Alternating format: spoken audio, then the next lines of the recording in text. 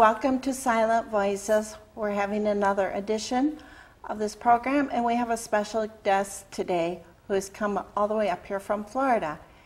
And Sarah, welcome to the show. Thank you. It's really nice having you here. So, do you have family in this area? Is that? I do. Almost all of my family is in this area.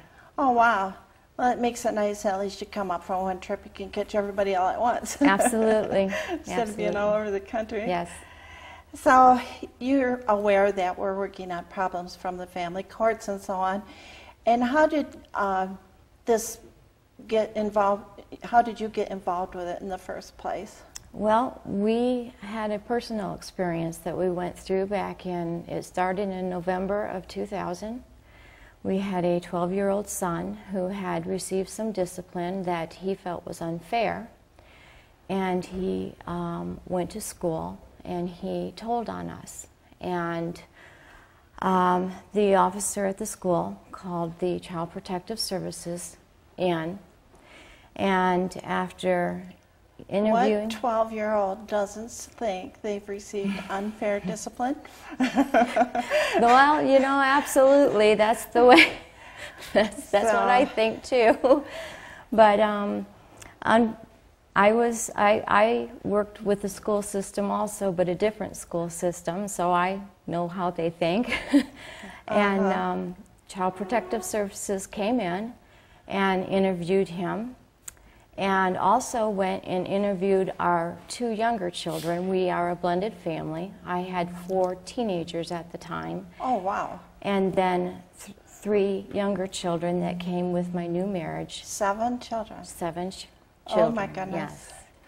And uh, they did not interview any of our older children, just these three younger children. And um, they felt that uh, my husband, because he had disciplined our, our son, had abused him. And after that night, uh, the um, agent that had come into our home called in another one. And she was so aggravated by our husband, my husband, that she said, uh, I am going to see to it that you are charged in criminal courts also. Oh, wow. And after, this is one day? This was all in one day. So he wasn't criminally charged that day, but she had threatened us that day with that, so we knew that was going to come at us.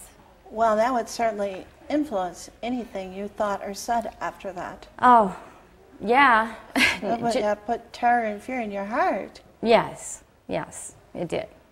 It did. And, and we were already just like deer in headlights because we tried to get some control over this son of ours that we had been dealing with. I'd been to school over, I'd had multiple constant calls from the school. Uh, you know, just, we were just having problems with him and trying to deal with them the best we could. Some children, you just do have problems. So this was kind of an ongoing thing in the school. Yes. Was there a particular incident in that, other than the fact that he told on the counselor? Or? Uh, well, the incident that led up to it was that he had been refusing to do any homework and turn it in. And so teachers continued to call, and I continued to go up to the school and meet with the school. And um, so my husband and I sat down with him, and we had tried different forms of punishment, you know, uh, grounding and, and, and anything he didn't mind, he enjoyed. And so my husband and I sat down with him, and my husband says, You know, Sean, if you are unwilling to do your homework, then I'm just going to give you a spanking. And he says, But I'm going to give you 24 hours, and you can decide. And at the next day, when my husband came home, he uh, said, we sat down with him, and Sean said, we asked Sean, what, what was your decision? And he said, I'm not going to do it, and you can't make me. And my husband said, Well, then you know what that means. And I was present. Um, it was not a hollering and screaming event. He just got a few swats on his butt, nothing that was abusive. And that was it. But Sean was angry And that was the beginning of a nightmare. a horrible nightmare. Wow, I wonder if there's any parents that ever haven't sat in that situation. You know, I raised three teenagers at once, and you know what? They didn't ever do their homework, and I mm-hmm. didn't make them do it. I didn't even try. I had my hands full. Mm-hmm. You know, and so this whole thing started over him not doing He had never done it, and I just had constant phone calls from the school and uh, constant notebooks where the teachers made us sign that we were getting his work and standing over him, but he still wouldn't turn it in. It was he was he'd been abandoned by his mother, and I adopted him, and so there were issues, underlying issues there, and we were just trying to deal with him the best that we could, and so finally, we resorted to corporal punishment. And Yeah, wow, that's, um, I can imagine it's just really hard. I, I know I used to spank a couple of my children a little bit too. And today, I apologize to my kids for it. I still feel bad about it. At that time, I absolutely didn't know what to do as a single mother. Now my kids say, "Oh, mom, you didn't do anything." You mm-hmm. know, they, mm-hmm. they, they knew if I got that upset and things were that mm-hmm. out of hand, they knew they deserved something. absolutely. Yeah. So that was. Uh, what happened next after that then? Well, Bethany Children's Services were called in also.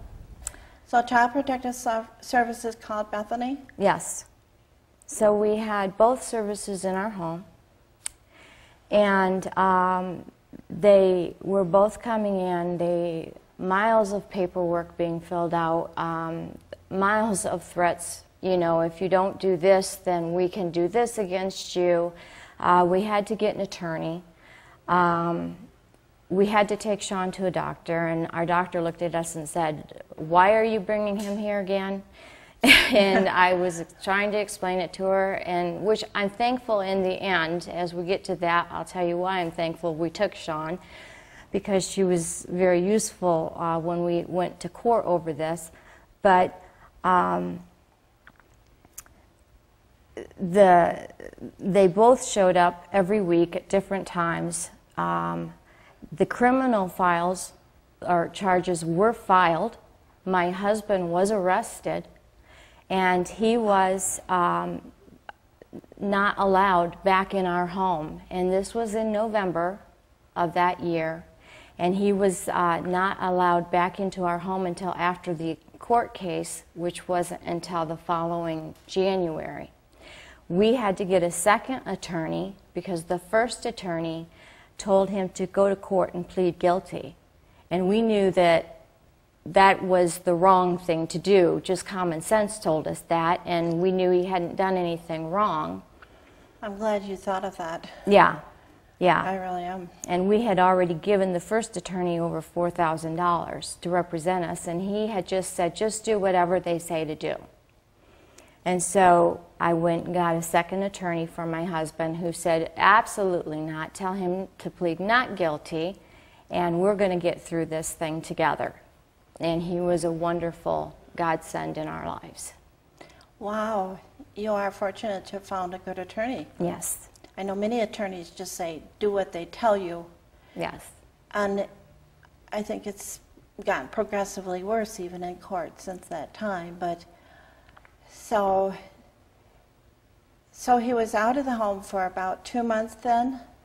Um, nearly three months. Nearly three months. He was out of the home over the holidays. Um, the court, the first trial that we went to was for the criminal trial, and um, we we had a bench trial.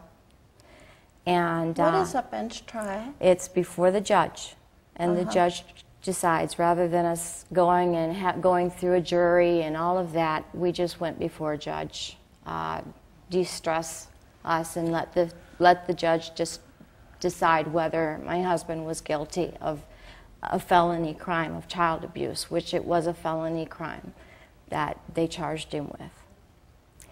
And um, our doctor was called to the witness stand, and that's where she, it, it had been, uh, you know, one of those things that we didn't see coming, but we're thankful that we had taken him to the doctor because she said, absolutely, Yeah. this child has not been abused. Right. And um, he not only uh, found my husband not guilty, but he also said this case is dismissed and it's to be expunged in the criminal courts. That's really good. Yeah. Wow. And then did they expunge it? To our knowledge, it is, and our attorney says it, it is, although um, our attorney has also said that it has been used in a few cases in the state of Michigan um, when attorneys are trying to decide what's considered child abuse and what isn't. So, somewhere there is some availability that our case has been used. Um, As an example. yes. Yeah. Well, and um, due to the fact that we have computers now, these things can keep be hidden in many, many places. And if someone has wants to get you or some reason, they can quite often dig something up. Yeah. So, do you have any papers or anything that was expunged? Well, we have transcripts of the court case, but we don't have anything that says it was expunged. But our attorney says he, that it was. So we're, like I said, we're trusting him on that. And Yeah, he's he's giving you really good advice. Yes, and they sent the fingerprints back from the state of Michigan. Well, that's good. that's a good sign. So, okay, now was he able to see you or the children during this time? I could see him, but he was not allowed to see any of our children that were in the home. We had an adult son that he went and lived with during that time. And I was allowed to see him, but he was not allowed to see any of the children that lived in the home. Wow. Yes. So then you went to court in January, hmm and the judge said he wasn't guilty then. Absolutely, yes. And you'd think it'd be finished. Yeah. Well, we had to go to family court after that Oh, okay. that because was- that was just the criminal courts. Oh, And so we had to go to family court also. And in family court, um, the judge also found that we were not um, abusive parents and that um, they were to get out of our home and allow us to raise our children because he said we're dealing with some very difficult circumstances and they need to allow us to deal with them, figure them out, and deal with them. Um, Yes, we thought we would have been finished, but Bethany Children's Services continued to call and showed up at our doorstep. And we had to once again get our attorney back involved. And uh, they told us that they were not bound by what the court said. oh, really? So did Bethany set appointments for these visits? No, they just showed up at the door, in which I did not allow them in, but I did contact our attorney, and our attorney uh, took care of it. Um, but he did advise that maybe we relocate to counter the harassment. Wow, so Bethany is above the law? Is that? Apparently, that's you know that's kind of the way we felt. You know, um, we, you have two organizations here that are are formed to work for the family, and they're given an enormous amount of power. And I, and being so intimately involved with them at that time, I'm not seeing the checks and the balances um, because they can come into the home and totally disrupt the home. And it's at, it's at, you're at their mercy, you know. Yeah. And, and if I wanted to do anything or say anything, then I was totally out of, out of line.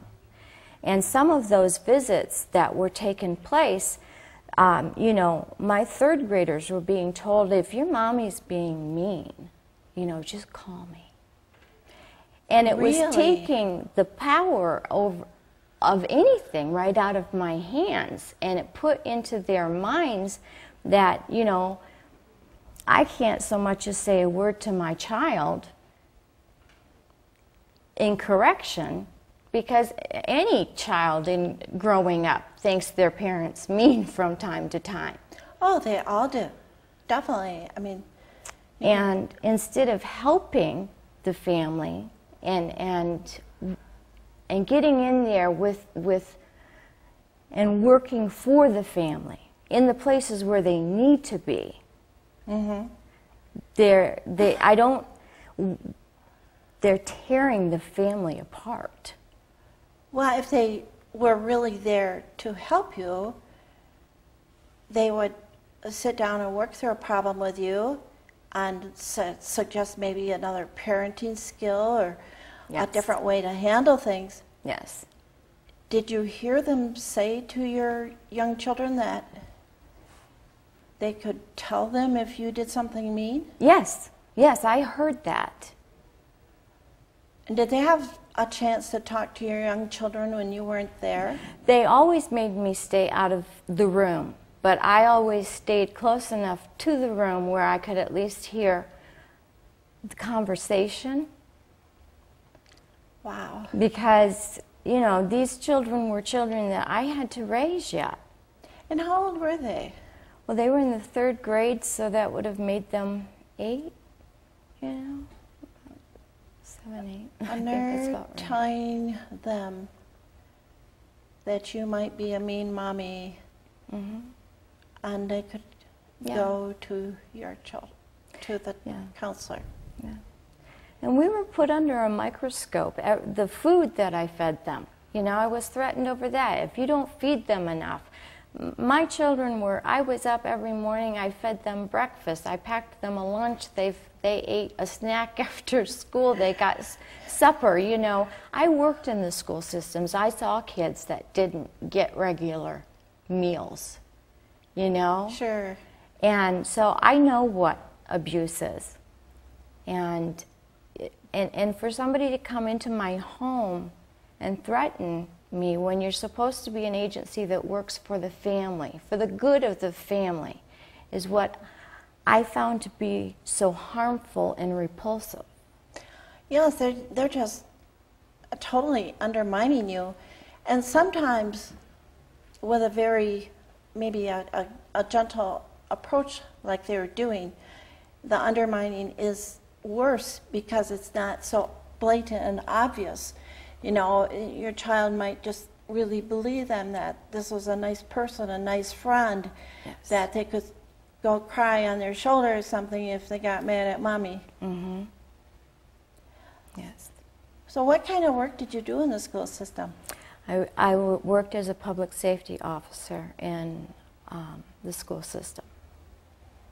So, it, then you did you have contact with a lot of children, or Mhm. what's that like? I've, I don't know about that job. What did you do? Um, I in in one of the schools for a few years. I had a partner. I was in a I was assigned to a middle school, and then my last few years, um, I I worked at an alternative learning center, and so I was the only officer there at that school, and so I interacted, and they were high school students. I I was I interacted constantly. oh, I bet you did. Yeah. That could be quite a challenge It too. was it was very challenging, but I loved it. You loved it. I loved it. Well, it's good. We need people like that. so, so what's happening with your family at home? Did that have any reflection on your job? Um, at at that time, my my health had taken a bad turn, and so I was getting ready to leave the system anyway because of my health. Um, but the repercussions that the whole thing had on our family, you know, uh, emotionally, um, it, I, I was afraid to even interact with people for a few years after this happened. So you had some scars. Oh, major scars. And financially, the cost of attorneys. We spent well over $10,000 representing ourselves in courts.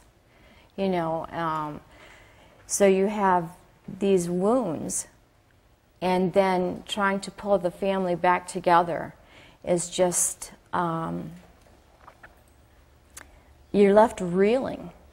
You get through it and you're left reeling.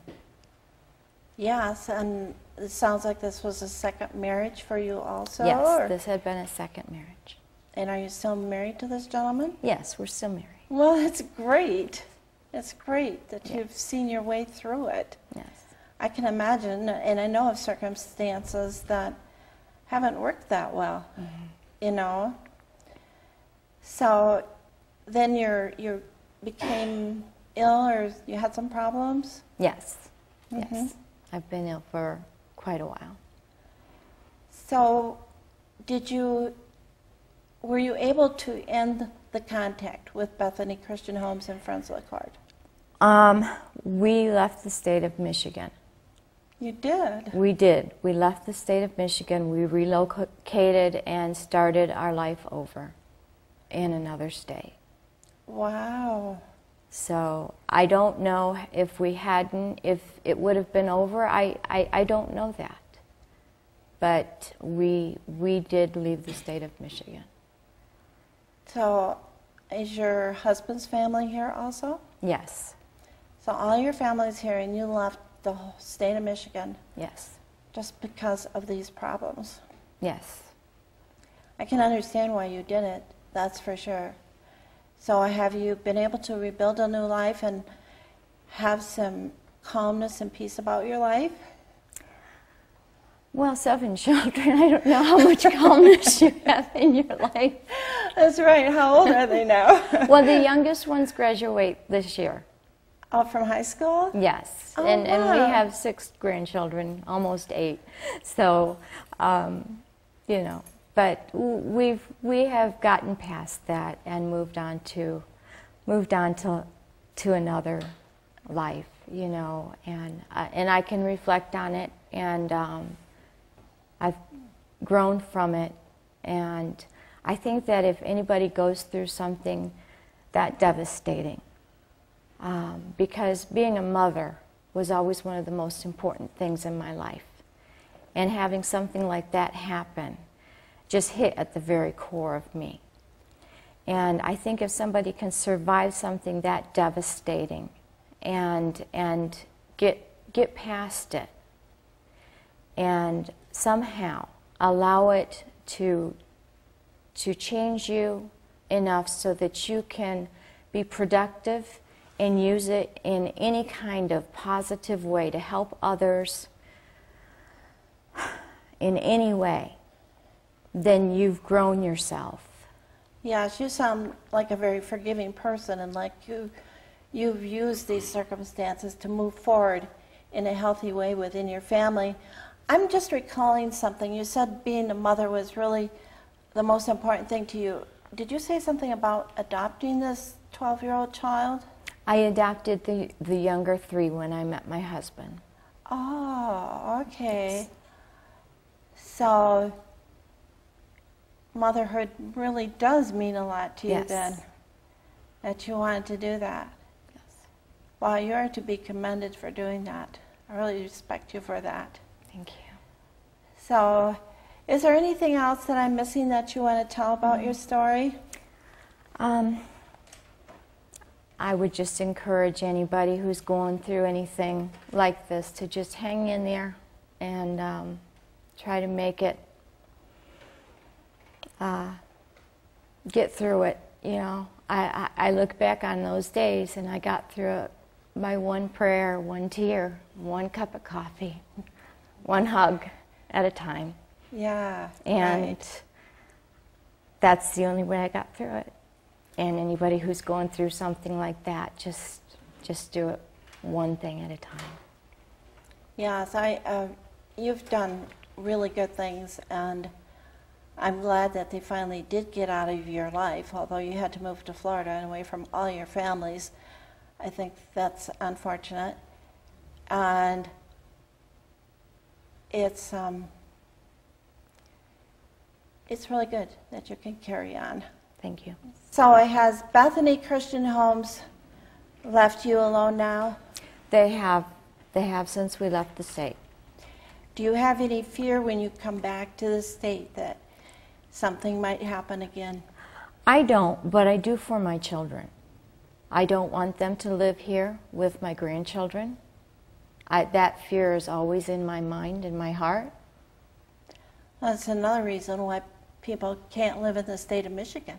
Yes. No, I hear many parents that leave the state because of the abuse of the system. So, how about Child Protective Services? Do they leave you alone? They, they, they left us alone after it was dismissed in the courts. But, you know, once again, I would not want my children to raise my grandchildren here. Just because um, it was such a short time that we went through it, but they were so intense. And I, I really believe that we, we were so fortunate. We were fortunate. You were. We were very fortunate. You really were. You know. You, um, I hear of stories that have continued on way worse than yours. I mean, Mm-hmm. yours is actually, I mean, you didn't do anything wrong at all. I mean, you, you simply were disciplining your child. I mean, you didn't do anything wrong at all. You know, and I hear so many stories that start out like that, and and they keep coming back. Friends of the court, Bethany, they just keep coming back and harassing the parents, mm-hmm. and eventually they find something else wrong. Mm-hmm. You know, and many people lose their whole their livelihood, their houses, everything. Everything. And you were you were lucky. You were one of the lucky ones to be able God's to find a second attorney and be a good one. Absolutely. God's grace. Well, thank you very much for Thank you for coming, having and me. really appreciate having you on the show of Silent Voices today. Thank you. Remember, your voice can make the difference in more people's lives. This is a Voices of Silent Voices, and we'll be back with another episode.